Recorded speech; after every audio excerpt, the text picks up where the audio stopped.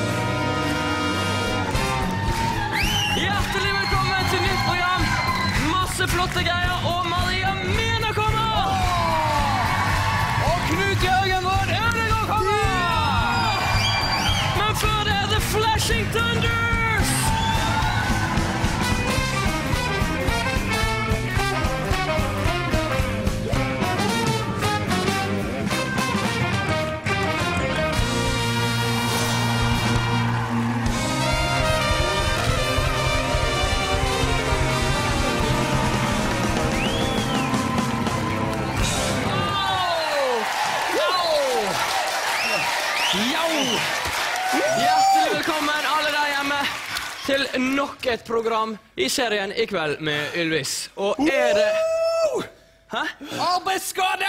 Oh my god, close up time. Hæ? Se her. Close up time on the finger. Så ivrig i dansingen at jeg Ah. klorte meg sjøl. Jeg tror du ikke med full HD engang får med deg den skaden her. På noen som helst slags måte. Ah, hjertelig velkommen, alle sammen. Og det har, for en helg det har vært. For en helg. Det har vært cupfinale. Ja visst er det det. Med er det? Er det noen som ler, le av? noen som ler av at det har vært cupfinale? Det er jo ikke noe morsomt. så Det Ja, det har vært en tung helg. har vært en tung Så du kampen? Så kampen. Floppete kamp. Floppete Loppete kamp. Floppete kamp. Jeg syns jo ærlig talt de, de beste vant. Eh, Men vanligvis er jo ikke eh, Ålesund de beste. dessverre. Nei.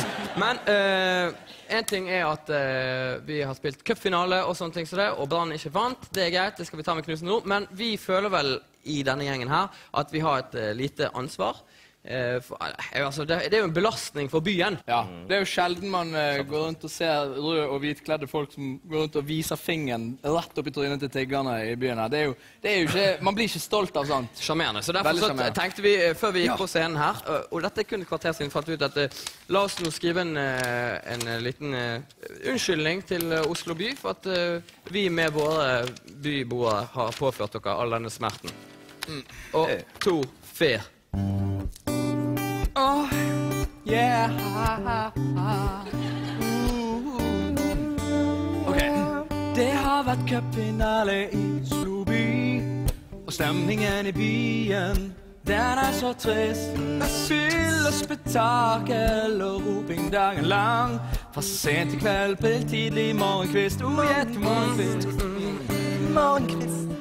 På Aker Brygge står det en mann og pisser mens han synger på en falsk bergenssang. Og masse barn får se ting de ikke burde sett. Ikke etter de ble 18 år engang. Så unnskyld, kjære Oslo, for denne mannen med røde klær. For denne drita fulle apen med skarre er. Og vi beklager denne kvinnen som sto og skrek at hun måtte drite. Utenfor Grand Hotel i natt. Å, jeg må drite, jeg må drite, bare slapp meg inn, for faen. Hun må drite, slipp hun inn. Hun må så jævlig drite, slipp hun inn. Nei, det kommer ikke på tale, dette hotellet tar bare imot driting fra de som bor på hotellet. Hold nå kjeften din, slipp hun inn. Hun må drite. Ok, Du forstår det, kjære Oslo, at vi har et mindreverdighetskompleks. Mindreverdighetskompleks. Vi har ikke Holmenkollen eller Ulla Ullaås topp. Og Karl Johans gate er så inn i helvetes lang. Mens Absalons Bergs gate er både kronglete og trang. Trang, trang, trang, trang, trang, trang. Så unnskyld, kjære Oslo, for denne mannen med røde klær. For denne drita fulle apen med skare er. Og vi beklager denne kvinnen som sto og skrek at hun måtte drite utenfor Gale hotell i dag. Må drite, så jævlig drite, drite ut av sin ræva. Må drite ut av sin ræv. Razzo! Razzo! Ah, åh, det er rett og opp all skade. Eh, vi skal videre i programmet vårt, som jo òg, i tillegg til å være et eh, underholdningsprogram, er et forbrukerorientert program. Og litt av grunnen eh, til det er at vi begge to er jo på jakt etter vaskemaskin om dagen. Det er vi. Helt samtidig, helt, Helt tilfeldig. Og vi eh, snakker veldig mye om dette på kontoret. Hei! Fei!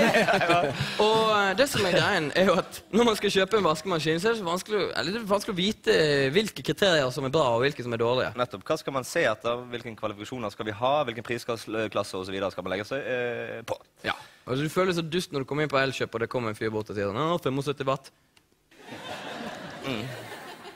Og, og du, Vegard, du er den stolte eier av en 11 kilos, 1600 omdreiningers maskin! Oh, yes.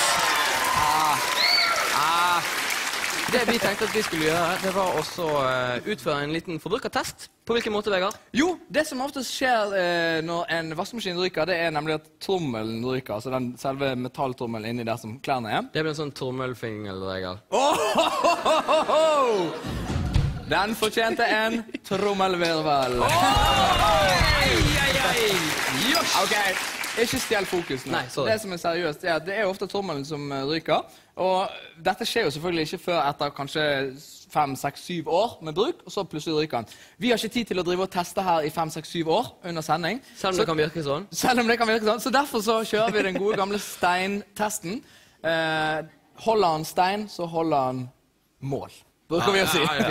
Eh, da kan du gå og gjøre deg klar til steintesten. Og det som er greien der er jo at Den skal da simulere den påkjenningen en vaskemaskin får i løpet av fem år. Og den skal den få på tilsvarende kort tid. Vi ser om eh, maskinen vår holder mål. Er du klar, Vegard? Jeg er klar.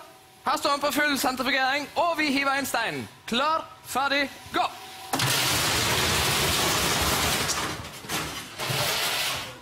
Eh, det ble eh, helt fint, det. Masse der, og eh, altså, sånn? Ja. Det er altså en vaskemaskin. Den kan anbefales. Det tar fem gode Du får fem gode år. Ja. Fem år, hvis det er sånn han ser ut. Det Jeg hadde eh, fem sekunder der med fullstendig panikk. Ja, det fikk du i hvert fall. Fem sekunder med panikk bedre enn fem år med dårlig vaskemaskin. Så vi gir Asko en tommel opp! Tommel opp! Tommel opp! Tommel ned. Tommel ned. Vi skal eh, få inn første gjest, Kalle. Ja. Time to leave. Yes, sånn er det bare. Jeg skal ikke gjøre noe storbandnummer som slutter akkurat idet det begynner å bli gøy ut av det. Så bra. Oh, the weather outside is frightful, but the fire is so delightful. Uh, since we no place to go, let it snow, let it snow, let it snow. Signs of stop.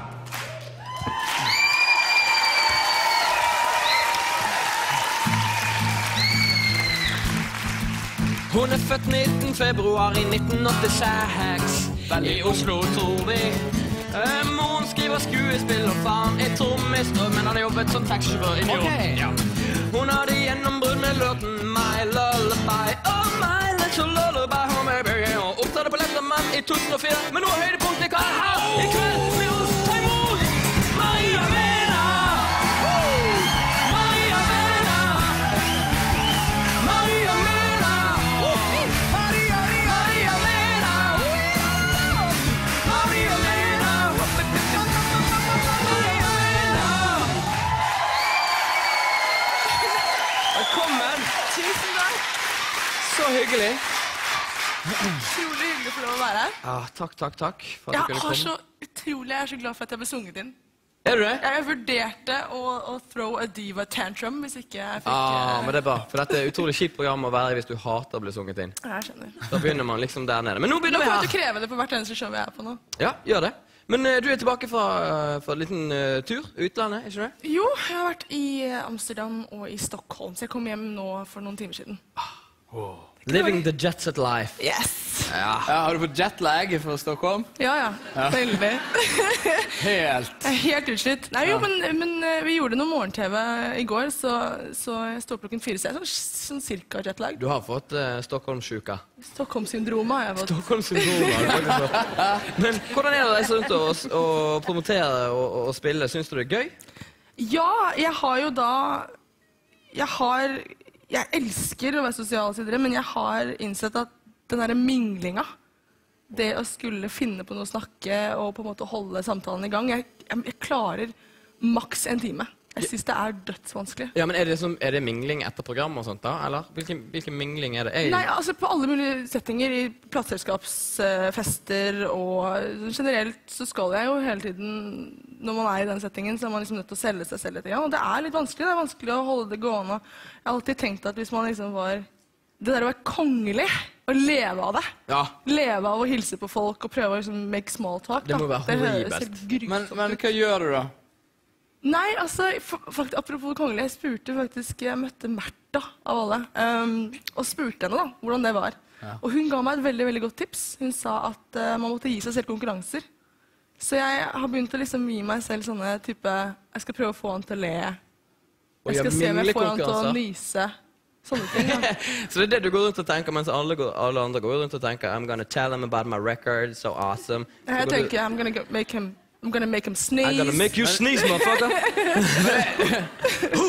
Det er nesten enda morsommere å tenke på at Martha med- går, Martha går rundt sånn og jeg skal få svenskekongen til å ligge langflat en gang i løpet av denne gallaen. Ja, det er sikkert sånn hun gjør det. Men, hvor- men å, å spille og sånt i, Sverige, skjønner de hva du sier og synger, eller? Hvis jeg snakker langsomt, så gjør de det. Jeg Ja. synes det er så rart. Jeg skjønner svensk så innmari godt, men de forstår ikke meg. Du knoter, du òg? Jeg knoter, og svorsken min er ikke noe av å, um, å skryte av. Det verste er at du jeg er så redd for at det, jeg, husker jeg er så redd for at det skal være én nordmann i salen, fordi at den personen kommer til å begynne å le av meg. da. Ja, det er pinlig. Ja, jeg prøver. Men det er ingen som legger ut ting på YouTube og sånt nå for tiden, så det Det der, det der går fint. Det der går fint. Det der er ikke noe problem. Eh, eh, Hadde vært verre hvis folk hadde kamera på mobilene sine. Ja. Da- Tenk deg det. Oh, for en virkelighet. For meg. Men du har jo eh, hvordan, hvordan er et Maria Mena-publikum? De er eh, som stjerna sjæl. De er ganske følsomme, altså. Ja, de er det. mm. Og jeg har et litt sånn Det er så det morsomme er at ehm, det, det er veldig mye gråting. I, i publikum? ja, i publikum. Og for meg så er det der må, For meg er gråting som, som spying. Um, for, Ok. Jo, men, let me explain. Jeg vet det er vanskelig. Ja. Følg med meg nå. Ja. Når noen spyr, så, og lukter man det, så får man lyst til å spy selv. ikke sant? Så når noen gråter foran meg, så klarer jeg ikke å holde igjen. Jeg er nødt til å begynne å gråte. Jeg tåler det ikke Nei, nettopp. På grunn av lukten? på grunn av lukten. okay. Men man ikke griner. Men er det sånn at du Her lukter det sorg! Du har jo holdt på å lage musikk hele livet, har du ikke det? Jo, jeg har vel Jeg skrev vel første låt da jeg var ni. Hvordan, hvordan, eh, hvordan skriver en niåring en låt? Altså, du kan vel ikke noter som niåring? Hvordan noterer man, og hvordan Eh, Du, jeg har, jeg har noe som heter synestesi. Som betyr at jeg ser musikk og mennesker og litt sånn andre ting også i farger. Ja, det var Eh, gøy. En gang til. Du har noe som heter synes... synes Synestesi. Det hørtes ut som en diagnose. Ja. Er det det? eh, ja. Det går ikke så bra med meg. Um,